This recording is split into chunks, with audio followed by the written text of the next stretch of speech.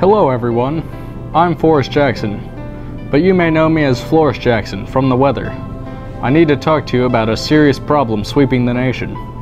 Incidents of this problem are drastically rising during this time of year. You might have seen it during spring break. It might even be happening in your own homes and schools. What I'm talking about is peep abuse. What you're about to see is graphic and may be disturbing to some viewers. The average peep starts its life in tight, small living conditions, separated from its family and packed into a container, tend to a box, unable to roam free. There's no need for these types of living conditions in modern society. But this is only the beginning of peep abuse. Peeps are then sold to people for torture and consumption. Peeps can be consumed, uncooked, or cooked. Some sick people roast peeps over an open flame, but most are known to put them in a microwave.